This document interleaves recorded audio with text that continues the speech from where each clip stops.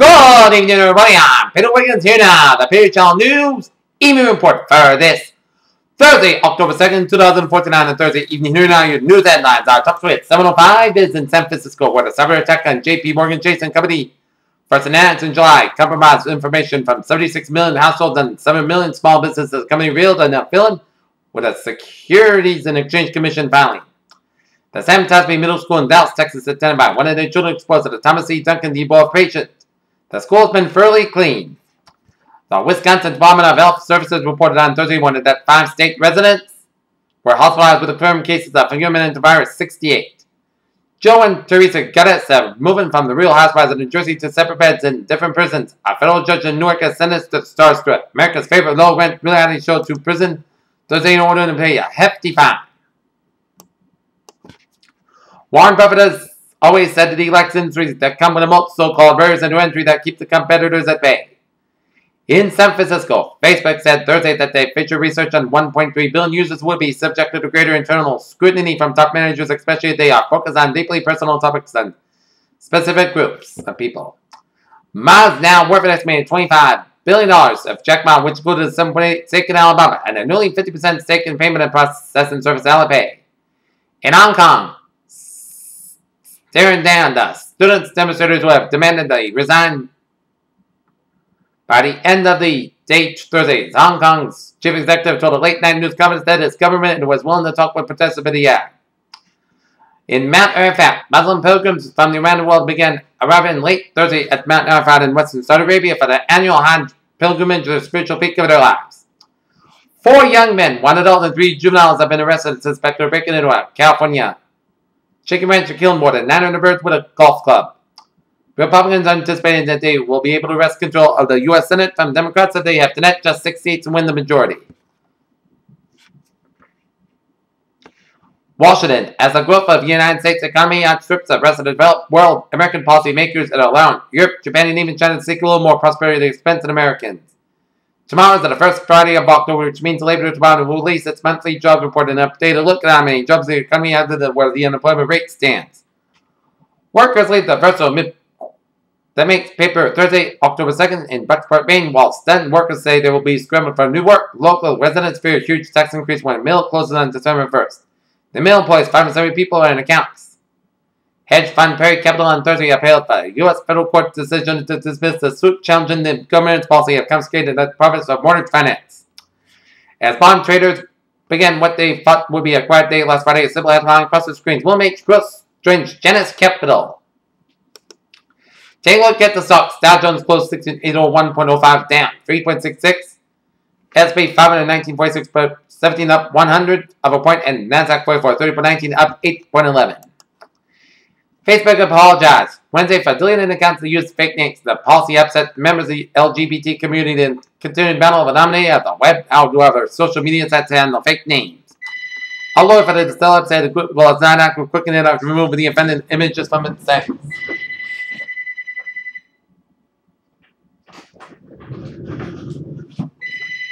Annabelle Wallis and Ward worked her husband and wife in the prequel to Conjured Witching involves a search a tricky devilish doll. Things with Lena Dunham and boyfriend Jack Antonoff against Zeus, but they not exactly planning to walk down the aisle just yet. In the 2012 best-selling book on coming movie Gone Girl, Emmy Golden Millicent and police and friends tried to find out what they will know about Amy and husband Nick. Monarch butterflies take sun on the branch of the monarch butterflies Basque Reserve in Mexico's Michoacan State as the monarch butterfly migration may rebound this winter, experts say. An annual aerial survey conducted by the U.S. National Oceanic and Atmospheric Administration over the Arctic region found some 35,000 walruses moving in the Alaska shoreline. A new marine gravity model in the Central Indian Ocean, which is fully charted and includes the presumed crash site of Malaysia Airlines Flight 370. An American doctor who was exposed to the Ebola virus while volunteering in Sierra Leone across the tarmac on Sunday asked U.S. government catch up airlines strategy to stop Ebola in its tracks. The quarantine part of Ebola patient Thomas Eric Duncan should be removed with her family after the Texas bomb where Duncan became sick with the virus and where this red stained sheet was still in red, Dallas County Director said.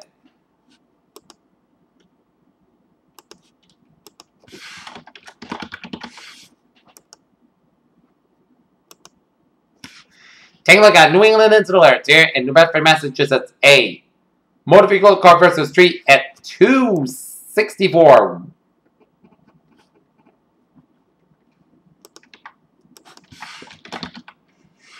World Street in New Bedford, Massachusetts here. We'll show you.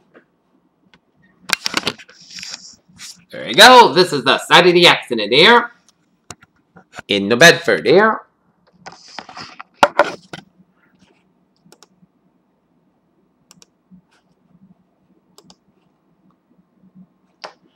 Okay, take a look at Spots news here.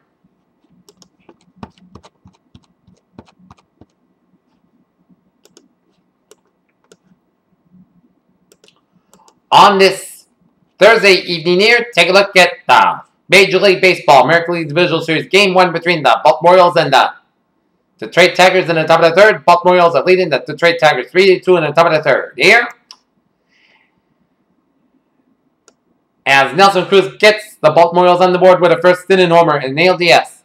On Thursday morning, the NFL draft next year will be held from April 30th to May 2nd of 2015. On Thursday afternoon, we learned that the draft will be returning to Chicago.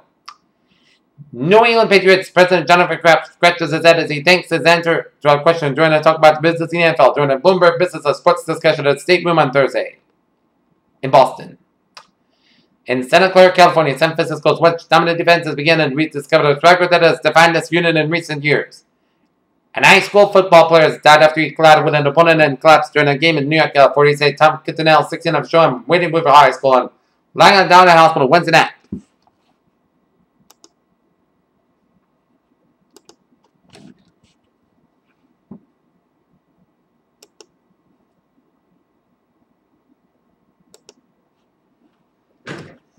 Take a look at our traffic situation here on this Thursday evening at Peter Chill News Time at 7-Eleven here in the Chills. Route 3 on the northbound side, a little slow on Hanover stretch here. Route 188 a little slow on East Boston here. And Mass Pike eastbound side, slow due to an accident near exit 16 in Newton Corner as travel 76 around that area here. And Route 2 westbound a little slow around the Leominster stretch here. And otherwise, a smooth sailing commute and the Braintree split a little slow here. Let's take a look at the weather situation here on this Thursday evening units. Tonight, Petrobelk after 2 a.m. was. Cloud skies are gradually becoming hot cloud sky low at 46 degrees and north face wind about 6 miles becoming calm skies. Friday, Petrobelk before 8 a.m. was. Part the sun sky under 63 degrees and north wind about 5 to 8 miles per Friday night, slight chance of drizzle after 3 a.m. and Petrobelk was. Most skies got low 40 degrees and north face wind about 5 miles becoming calm in the evening. Saturday, chance of drizzle before 10 a.m. then a chance of showers being after 4 p.m. and Petrobras before 11 a.m. and then Petrobras up to 5 p.m. was. Class skies on the high near 67 degrees and calm wind becoming southeast about 5 to 7 to 8 miles by the morning, chance rate to 20%. Saturday night, showers and thunderstorms before 11 p.m. Then chance of showers, Petrobras before 11 p.m. Low wind 47 degrees and southeast wind about 6 to 8 miles by becoming west after midnight. Winds could get size 20 miles by chance rate to 8%. For Sunday, most Sunday, most good got low about 65, low about 42 degrees. Monday, most Sunday got about 69, low about 52 degrees with part clouds got Monday night. For Tuesday, Pakistan sky about 73 degrees. Tuesday night, chance of showers, most clouds got low 55 degrees. Chance base to 30%. Wednesday, chance of showers, most clouds got down to 70 degrees and chance base to 40%. For that, most of clouds got low 50 degrees. And for Thursday, Pakistan sky at about 69 degrees.